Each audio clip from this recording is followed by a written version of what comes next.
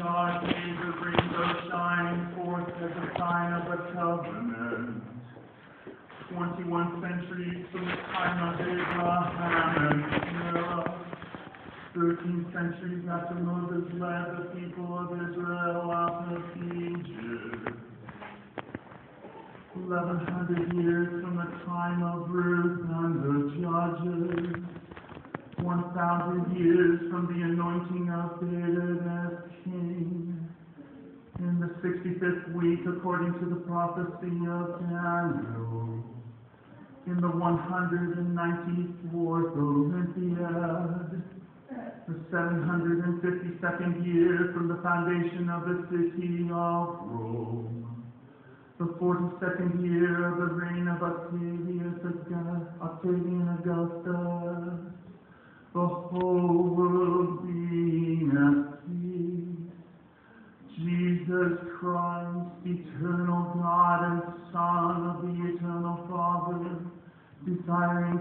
sanctify the world by his most merciful coming, being conceived by the Holy Spirit, and nine months having passed since his conception, was born in Bethlehem of Judea of the Virgin Mary. Today is the nativity of our Lord Jesus Christ, pour l'insulte offrée.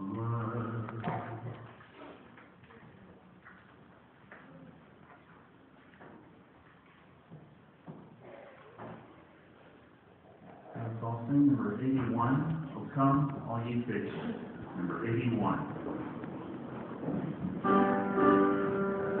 81.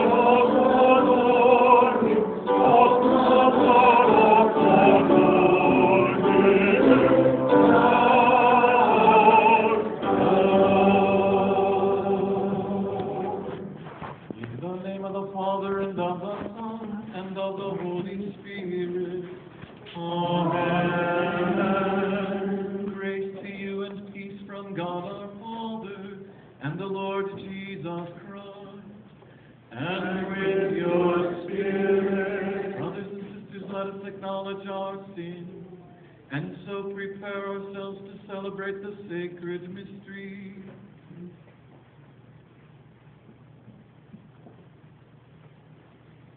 Kyrie eleison, Kyrie eleison,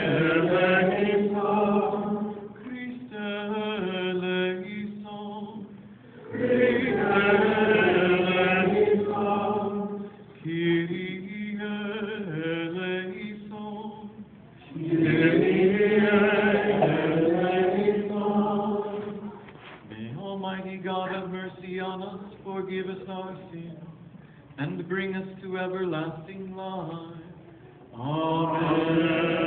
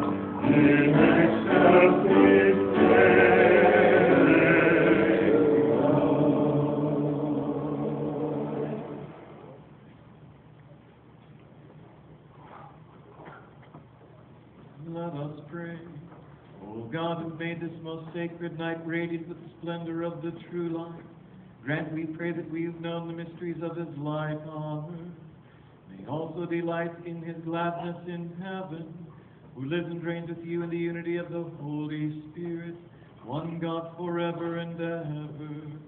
Amen.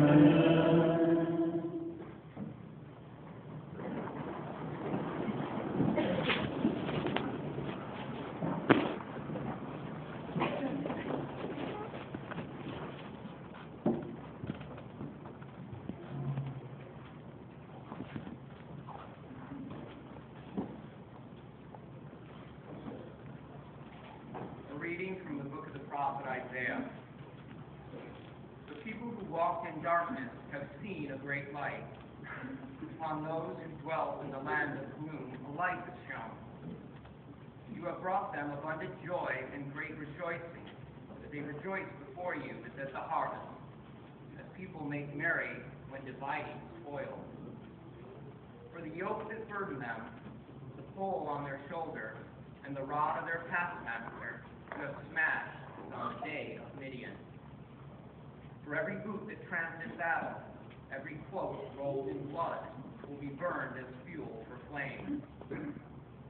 For a child is born to us, a son is given us. Upon his shoulder dominion rests. They named him Wonder Counselor, God Hero, Father forever, Prince of Peace.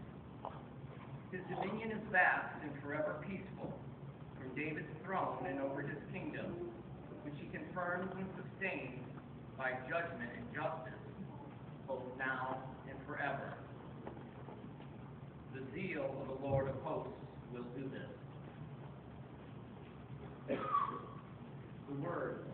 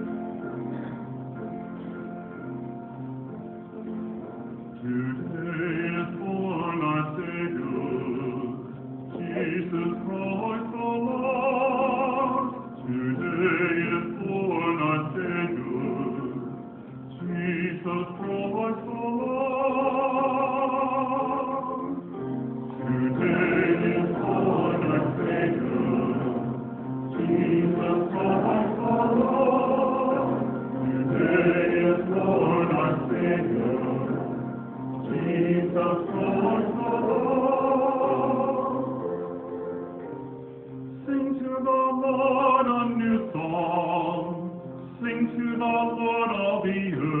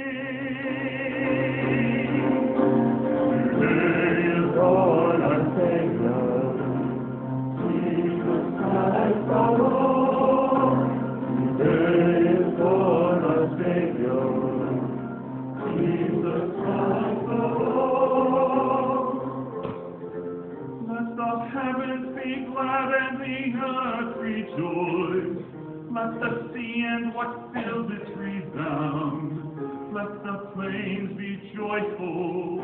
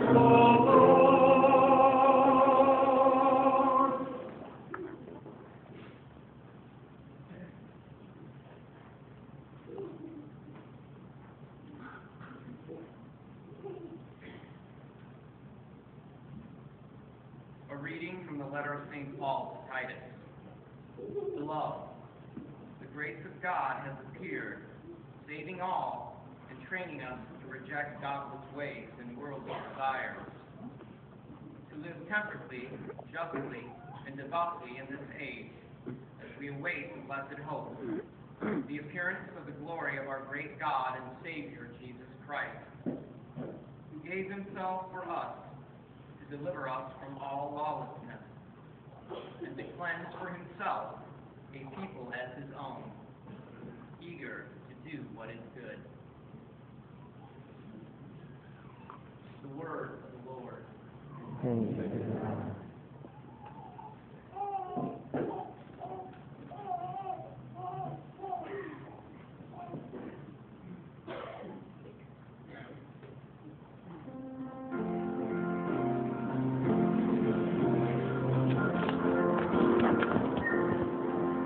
Alleluia, Alleluia, Alleluia,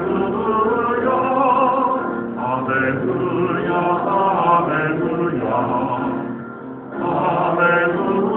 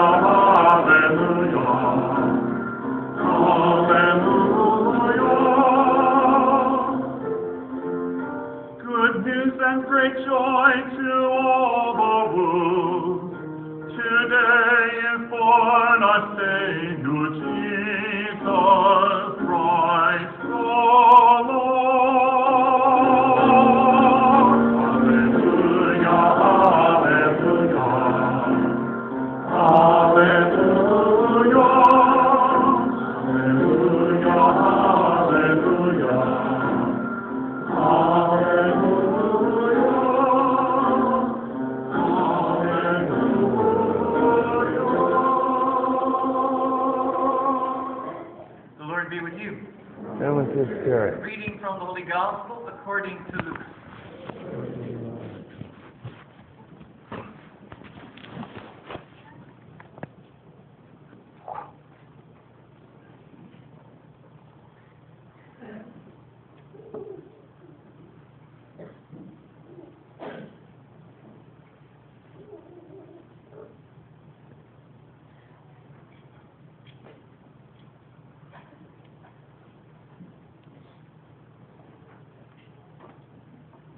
In those days, a decree went out from Caesar Augustus that the whole world should be enrolled. This was the first enrollment when Quirinius was governor of Syria.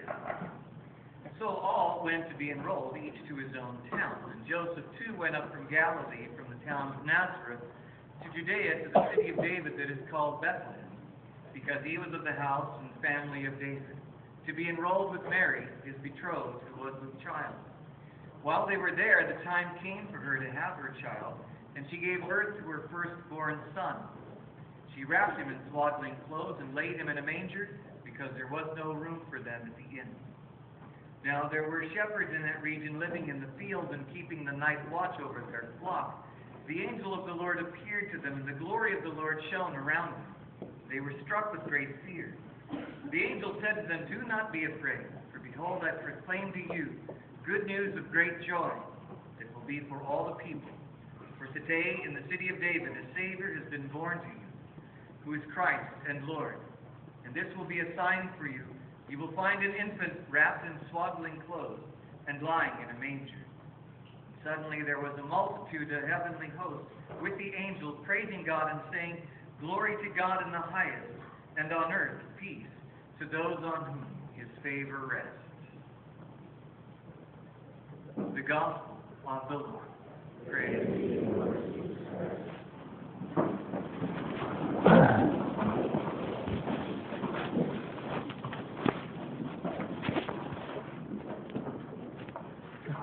morning.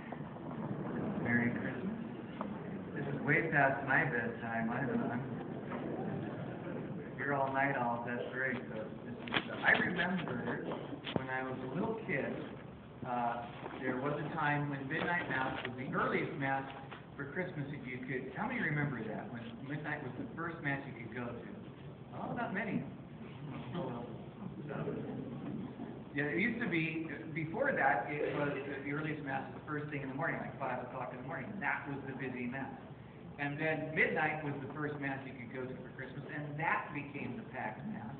And then, of course, then they allowed for earlier masses, vigil masses so now, in the afternoon, uh, of course, in the early evening is when we have the biggest crowds for Christmas uh, liturgies. But I remember as a kid, I can still remember uh, uh, uh, uh, sleeping, if you will, or kind of dozing on my uh, on my father or my mother's shoulder. They're carrying me. And I remember I was wearing my little uh, footy pajamas to to mass, and uh, that's how they would drag all the kids, and we'd all be there and and uh, half asleep or fully asleep, and that's how we got through uh, Christmas uh, um, morning, not even Christmas Eve. So, but in celebrating this day, celebrating the incarnation of Christ, we celebrate the fact that God has taken flesh, that God, in the womb of the Virgin Mary, and then on in the Nativity, uh, he, he, he appears to us uh, uh, in the flesh, God in the flesh. And so, uh, as a child Jesus, the body of Jesus is carried by Mary in her womb, and then she carries him, she wraps him in swaddling clothes. I'm sure Joseph held him and carried him as well. I'm sure everybody wanted to hold the baby, right? Everybody wants to hold the baby. We had a baby here for the four o'clock liturgy with our uh, Christmas pageant, and uh, pretty chubby baby too. And uh, I'm thinking, you know, I don't know, was Jesus chubby as a baby? Probably at a certain point. We don't know. Know, he didn't, you know, he wasn't born with a little beard and everything. You know. So, so the fact is, though, and this is this is you know that's the Christmas miracle. But the reality is that that taking flesh uh, uh, of God in, in the stable, in uh, Bethlehem, means nothing to us if, in fact, he uh, doesn't uh, die uh, on the cross and rise from the dead. Because then he becomes one with us. After he sends to the Father and he sends the Spirit to us, then he becomes present to us uh, in the Eucharist. And, and, and think about that. Mary held the body of Jesus for the very first time. You have the privilege of holding the body of Jesus every single time you come to Mass. For your entire life, you get to hold the body of Christ. And I don't know that we think about that when we come up for Eucharist. I'd like you to think about that. I'd like you to receive that body of Christ same reverence and the same care that you would hold a baby. You know, when the baby is newborn, you say, let me hold it. And, you know, you see people do that in the hospital rooms and so forth. And the first time they get a chance to hold the baby, they cradle that child so carefully.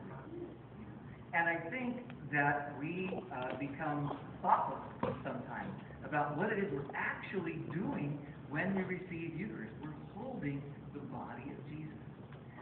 So take care and recognize it in the Eucharist, your Lord and your Savior, the child Jesus who comes today in the flesh.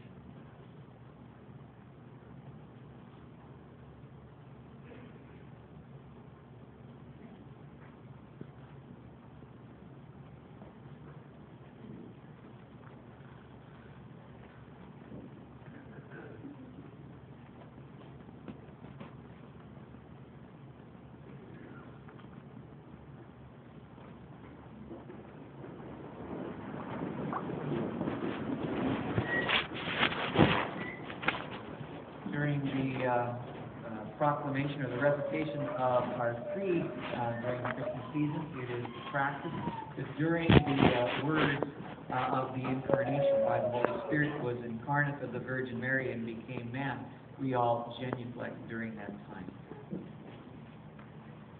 I believe in one God, the Father Almighty, maker of heaven and earth, of all things visible and invisible.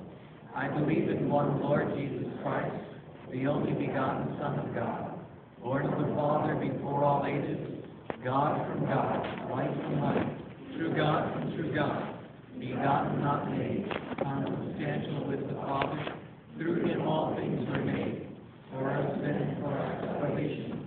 He came down from heaven, and by the Holy Spirit was incarnate of the Virgin Mary, and became man. For our sins he was crucified and crucified. He suffered death and was buried, and rose again on the third day, in accordance with the Scriptures. He ascended into heaven, and is seated at the right hand of the Father. He will come again in glory to judge the living and the dead, and his kingdom will have no end. I believe in the Holy Spirit, the Lord, the giver of life, who proceeds from the Father and the Son, who with the Father and the Son is adored and glorified, who has spoken through the prophets. I believe in one holy Catholic and Apostolic Church. I confess one baptism for the forgiveness of sins, and I look forward to the resurrection of the dead and the life of the world to come. Amen. We have now to the Lord and offer our prayers of intercession, I need a, uh, uh, there's a young person, a child who'd like to assist with the lighting of the Christmas tree. You want to volunteer, raise your hand. Here and- and help me light the tree. Somebody wants to light the tree? Come on. It's easy. Believe me, it's not hard. Okay, we're not gonna light the tree then. Never mind. Come on. It's not hard.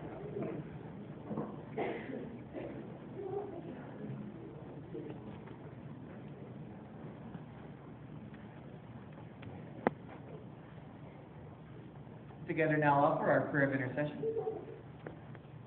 That Pope Benedict and all church leaders may steadfastly continue to announce the good news to the world, we pray. Lord, hear.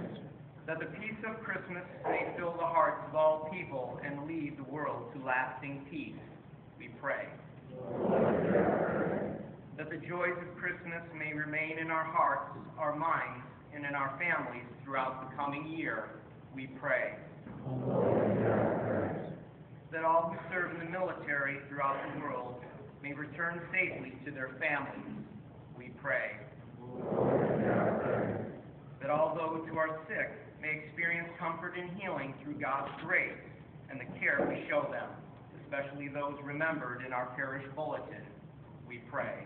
Lord, That those who have died in Christ may be with him forever in heaven, especially David Ashdown, Russell Riccavono, and those remembered in our parish bulletin, we pray. For all special intentions as written in the book of remembrance, we pray. And for our own intentions in the silence of our hearts, we pray.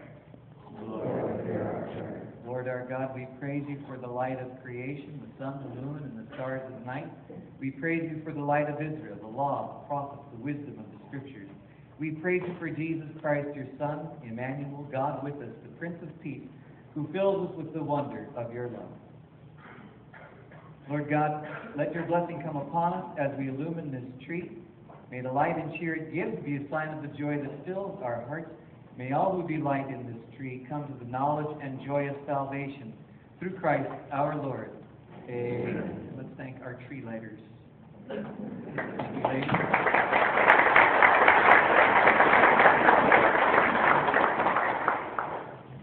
Be seated now.